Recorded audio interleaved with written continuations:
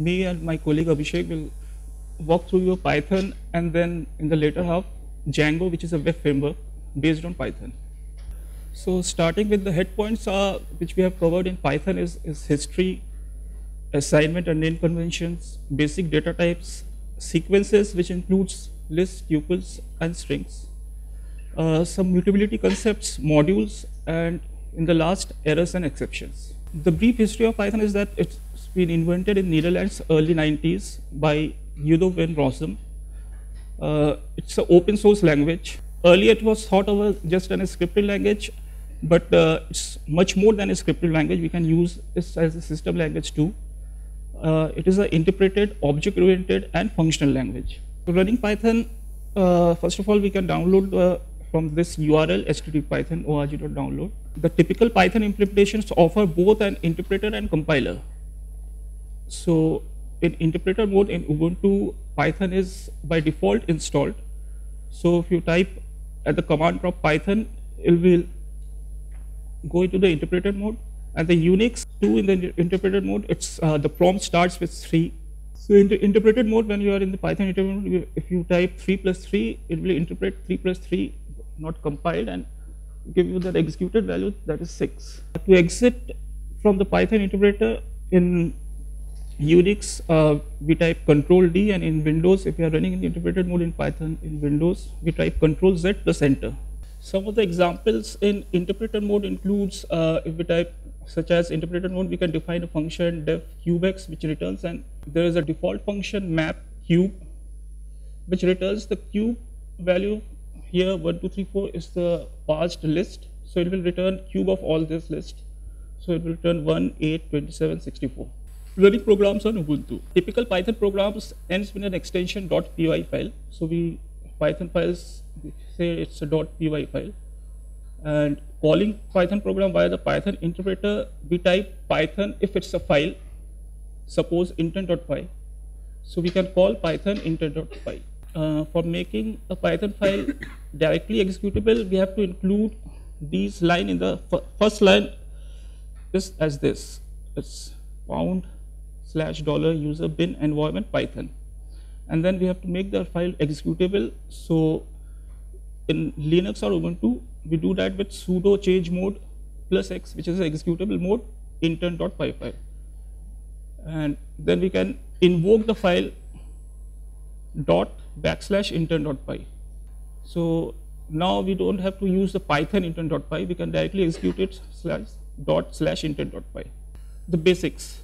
Basics data types includes as in all other languages, which is long, integer. Here it is a complex, complex numbers and floats x, which is a simple complex number 3.456. These basic data types are immutable.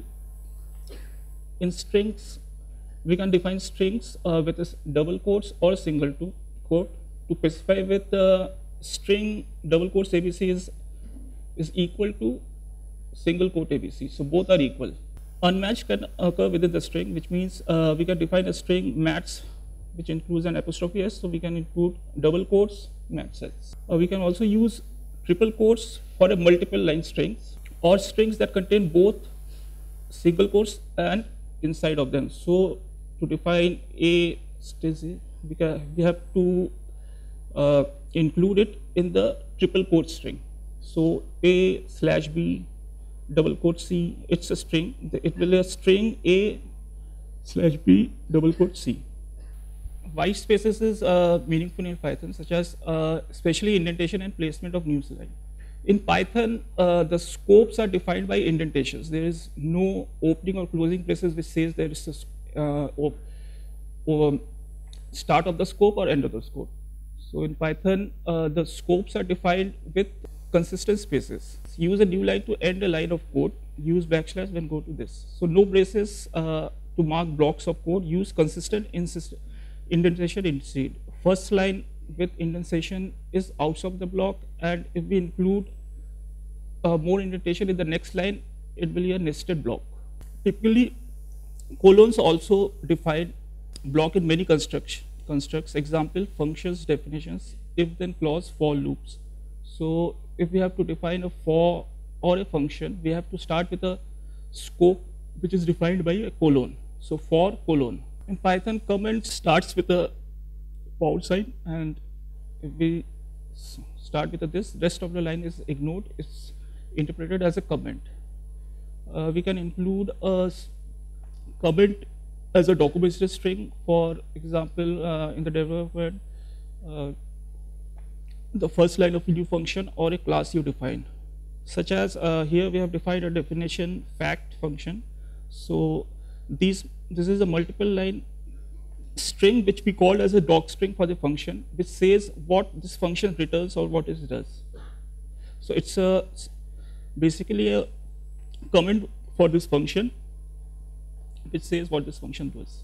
In Python, uh, binding a variable uh, means setting a name to hold a reference to some object, which means assignment creates only references, not copies. In Pythons, do not have an instructing type, objects have types. So Python determines the type of the reference automatically based on what is assigned to it. So if you define x is equals to 3, so it's automatically uh, interprets it as an integer. If we say x is equals to in quote string, so it's the object of type string it will interpret that as an object type string. Uh, assignments uh, is as usual. You can create an assignment. First, up your left side of is the name, which holds the value 3. And the references are collected by the automatic garbage collection of Python when it goes out of scope. Naming rules, which are typically very much similar to other languages. Names and case are case sensitive and cannot start with a number they can only contain letters, numbers, and underscores. For example, Bob, Bob underscore Bob underscore two Bobs. So these are all valid names. And there are some reserved words we cannot use as a variable names. Uh, examples are and, assert, break, class, continue, etc. Assignment, you in Python you can assign multiple names at the same time. So we say x comma y is equals to 2 comma 3. So it says gives x to value 2 and y to value 3 and which makes it easy to swap values. So if we first defined x comma y is equals to 2 comma 3 and then we, we have to swap the values x comma y is equals to, it will then assign 3 to x and y to 2. An assignment can be chained. So in a single line we can assign a equal to b equal to x which is equals to 2. And accessing a name before it's been properly created by placing it on the left side or assignment raises an error. So if we have now defined y to anything and we in the intermediate mode we type y, it will return an error which says y is not defined. But if we define y is equals to 3 and then prompt y, it will return 3. Control flow includes uh, while statement, for statements, if statements. Uh, here it is an example for a while statement which starts with a count then while count lies in. So it will print the count, increment the count up to the count value of which is less than 9 and prints the count in a, each loop. For statements, we can define words as a cat, which is a list of strings, cat, window, demonstrate, and if we loop in words, it will print in each loop cat, window, demonstrate. Python, uh, the if statement, we have defined x equals to which takes inputs from the command line, then loops uh, checks if statement if x equals to 3. It's a typical if a statement example here. The else else is defined as el if, not else space if. Python there is a default function range. So if we pass some value in the range, so it will loop for i in range 5. It will loop up to starting with 0 up to a n minus 1. So here it will print 0 to 4. There are some uh, pass, break, continue statements. So for letter in Python, here we have checked if the letter is equals to equal to h. So it will loop through all through Python individual letters. First it will take value letter is equals to pi, then y. And if that value becomes h, we are breaking out of the loop. So it will only print up to p, y, t, and then uh, when letter is equals to h, it will break out of the loop. Functions. So functions are defined uh, with a keyword def, and the function name will be anything uh, valid function names. Here we have defined a function fibn which uh, writes Fibonacci series. So definition fibn series up to n. So first uh, we have initialize a and b equal to 0 to 1, then loop to n while a is less than n, print a. Here typically a comma b will, uh, as we have seen earlier, a will be assigned each and in a loop, a will be assigned b and b will be assigned to a plus b. And it will print the values. So if we call a fib with a value 2000, it will start from 0, then print 1, 2, 3, which is a Fibonacci series. Uh, functions can be called using keyword arguments of the form where kwarg is equals to value. For instance, the following function, uh, we have defined a function definition parrot, uh, which takes argument as voltage and state uh, we have defined state is equals to a step, which is a default value for state a step. Action is equals to we have defined a default value action to whom. Type we have defined a equal to Norwegian, and then we have print something by calling uh, these functions. So this function, uh, this uh, definition parrot accepts one required argument, which is a voltage, and three optional arguments: state, action, and type. So this uh, parrot functions can be called in any of the following ways. Parrot 1000. So it's a, it will not take as a kwarg value, but it will take positional argument, which is the first one. So it will take 1000 as a value of the voltage. So voltage will be defined as 1000, then will it print the statements and take all the values state as a step, which is the default values for all these. Uh, we can also define parrot voltage is equals to 1000. So it's a keyword argument. We are passing calling the function parrot voltage with a voltage value to 1000. You can also call parrot voltage is equals to 10,000, action is equals to boom. So here we are uh, calling the parrot as a two keyword arguments uh, where voltage is equals to 1 lakh and action is equals to within the string boom. We can also add here the position of the arguments doesn't matter. If we are calling it, uh, we can also call action is equals to boom or comma voltage is equals to 3. So it's same as first one voltage is equals to 10,000, action is equals to boom. So this one and the uh, previous one are the same. Both will be the same function and return the same value. We can also call uh, without and keyword arguments as a positional value. So we can call parrot where we are passing a million, a barret of life, comma jump. Here the value of voltage will be a million, state will take a barret of life and type will be again a jump again uh, we can call as a one positional argument and one keyword argument. So here we have positional argument is for voltage and keyword argument is the state where we are passing pushing up the dice. It's a comparison between Java and versus Python. All variable names along with the types must be explicitly declared. So in Java we have to first declare then we have to define the values. In Python you never declare anything. You just say y is equals to 3, y is equals to not y is equals to integer. We have not to not have to declare anything integer string. So it takes uh, as it is defined. So if we define y is equals to 3, so y will be assigned a value 2 and type will be an integer. In Java, uh, container object example vector and array list holds objects of generic type object but cannot hold primitive type such as integer. But in Python, container objects uh, as list and dictionary can hold objects of any type, including lists when you uh, lists. It can uh, type of mixed values. It can contain a list, a string, or list within a list. And when you retrieve an object from a container using index values, so it remembers its type. So we have to not cast it again to the string. So if we say print hello world, in Java, for printing a hello world, we have to define a class of public, public class, and public static void string arguments. Then we have to print out system.type to print a single hello world. But in Python, in the intermediate mode, we have to if we have to print a hello world, we have just define print hello world, and it will output the string hello world. In Java, each top level public class must be defined if in its own file. So if your application has 15 such classes, it has 15 files. But multiple classes can be defined in a single file in Python. So if your application contains 15 classes, that entire application could be stored in a single file. Sequence types. In Python, uh, sequence types includes tuples, lists, and strings. Uh, the example of tuple is here, uh, which is in brackets John, comma 32, and then a list CMSC. So in a simple, it's a simple immutable ordered sequence of items. items can be of mixed types including collection types. So here the collection type is a list again a list. Uh, strings strings we can define in the double quotes which is here we have defined string as John Smith. So strings are immutable objects in Python.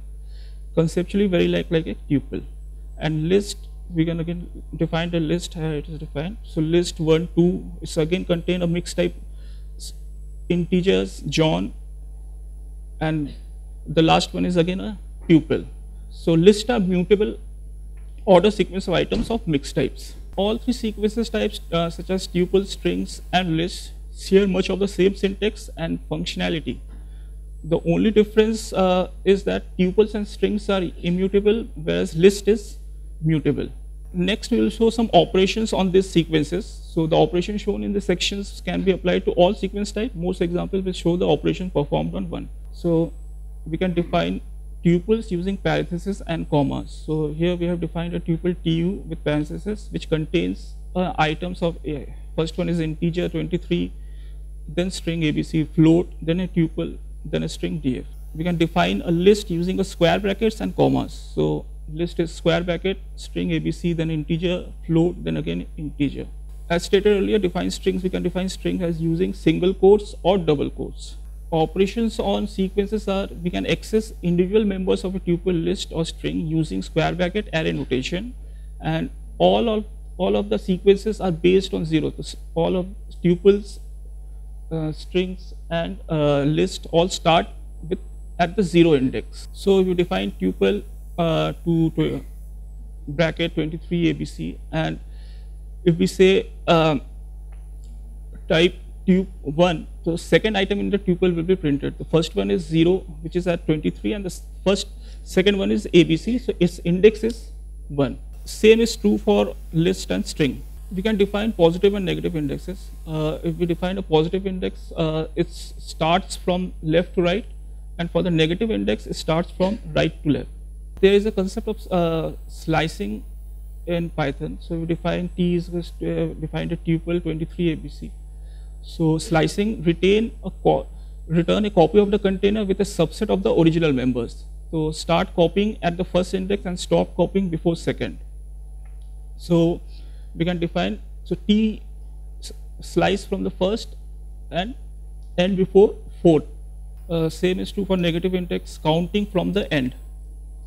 We can also omit the first index to make copying starting from the beginning of the container. So if we omit the first index, it will start copying from the first one. Similarly, we can omit the second index to make start copying at first index and going to the end. Uh, if we omit both first and last index, it will copy the whole sequences. Note the differences between these two lines of mutable sequences. Since list is a mutable sequence, so if there is two lists, we have defined L1 and L2 and we specify L2 equal to L1 to both refer to 1, changing one affects both. If we define L2 is equals to L1, here it is a independent copies of two references. There is a boolean operator for checking in sequences. So boolean test whether value is inside a container or not. So we define t is equals to list 1, 2, 3, 4. So we can check if 3 is in belongs in list t. So if we type 3 in t, it will return false because 3 is not in the list. Uh, if we type 4 in t, so it's a boolean test and it will return a true. And 4 not in t, because 4 belongs to 4 it will return false. Same is true for strings. So for strings test of substrings A is equals to a string ABC. So we can check for substring. If CD will in A, so it will say yeah, uh, return true. AC in A because AC is not a substring of ABCD, so it will return a false. The plus operator in sequences. The plus operator produces a new tuple list or string whose values is a concatenation of the arguments.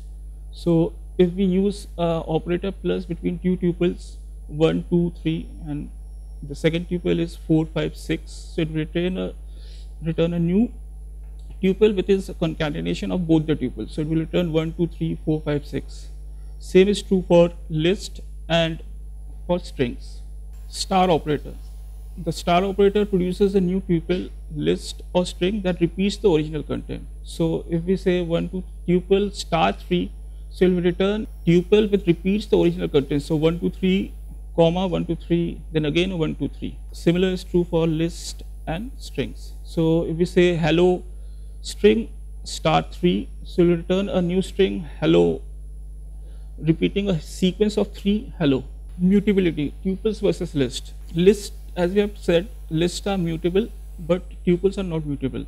If we define uh, a list which is a list of items ABC and we say L is goes to 45 because list is mutable so the first second item of the list will be changed to 23 we again print li so the 23 is replaced with the new value 45 because lists are mutable we can change list in place. Uh, name li still points to the same memory reference. Where we are done. So it's a reference to the same memory reference. But tuples are immutable. So if we say t define t and again try to change the any index position of tuple. If we say t2 is equals to 3 it will the python will return an error because object doesn't support item assignment. Because list is immutable it cannot change the value of the tuple in place. So you cannot change a tuple. You can make a fresh copy and assign its reference to a previously used name. The immutability of tuples means they are faster than lists. There are some operations uh, which are applicable to list only. So there is an operation append. So we defined list of, and then use an append operations uh, which takes arguments. So the new list will be, it will append A at the last index. We can insert takes uh, the index position and the value of the source. So li insert 2 1 so it will the i will be inserted in third item of the list. A new list will return where one and third item is now i. The extend method versus the plus operator.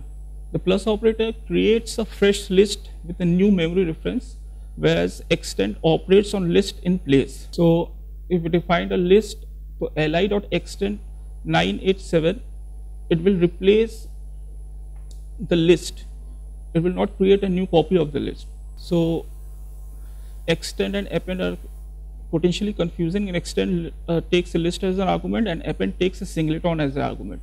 So if we say li dot append a list, so a whole list will be appended at the li. So the list was defined as this and we have used the append function, we have passed the argument as a list 10, 11, 12. So the new list will be, the last position will be indexes with 10, 11 and 12.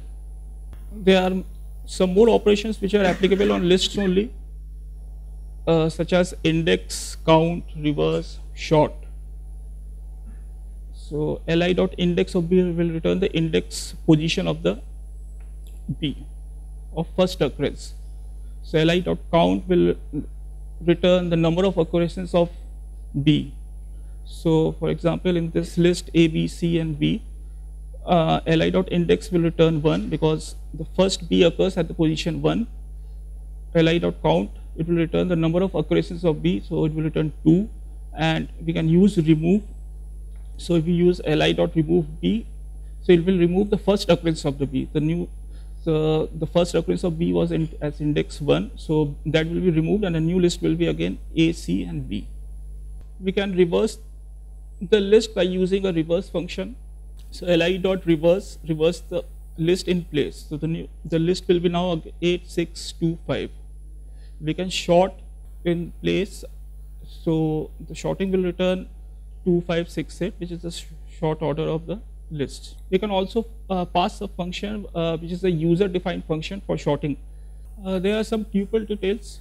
Uh, the comma is the tuple creator operator and not the parenthesis. So if we say 1 comma so it will be a tuple and not an integer 1 so the parentheses are only used for clarity if we forget the using the comma and only use the parenthesis it will only return integer the uh, 1 and not the tuple we can also define uh, empty tuple which is uh, only the parenthesis or call a tuple function empty in summary, uh, tuple lists slower but more powerful than tuples. List can be modified and they have lots of handy operations and methods.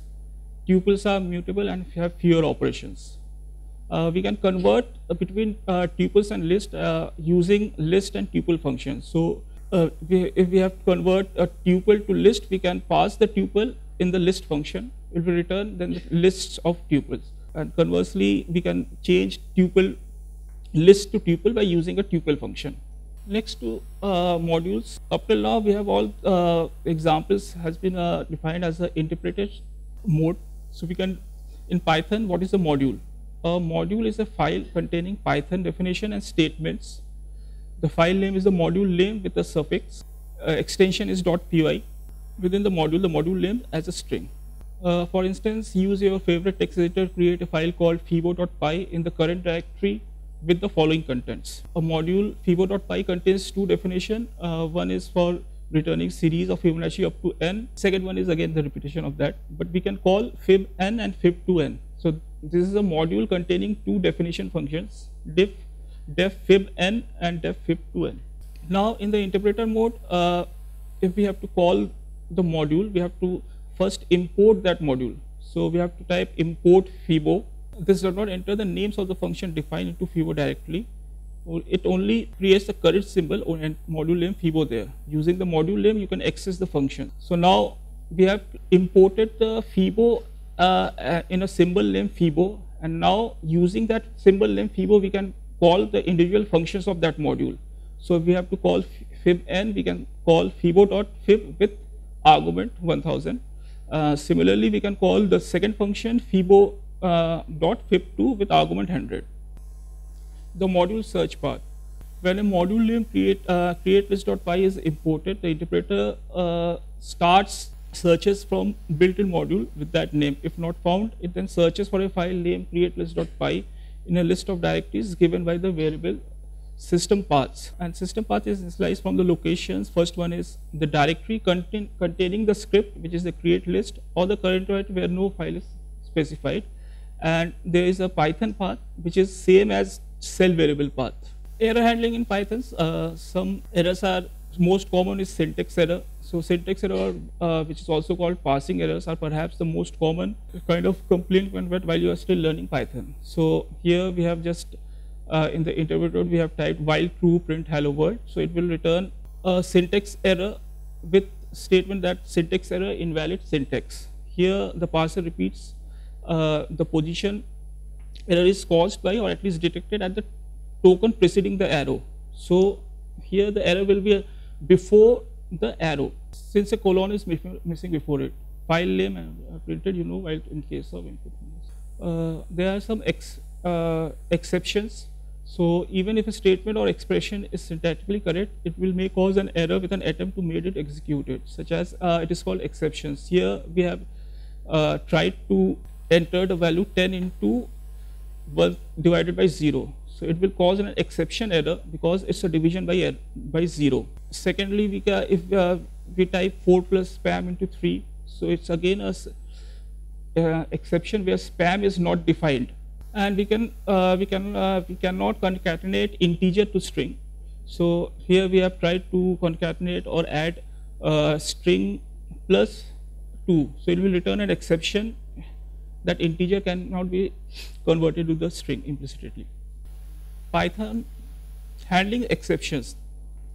So it is possible to write programs that handle selected exceptions uh, in which uh, here we have defined a loop of while true and in the try and except block we have try x is equals to taking a input value from the command line and in the except block we have said that it's a value error the, try again so handling exception starts the try statement works as follows first the try clause the statement between the try and except words is executed if no exception occurs the except clause is skipped and execution of the try statement is finished if an exception occurs during execution of the try clause, the rest of this clause is skipped.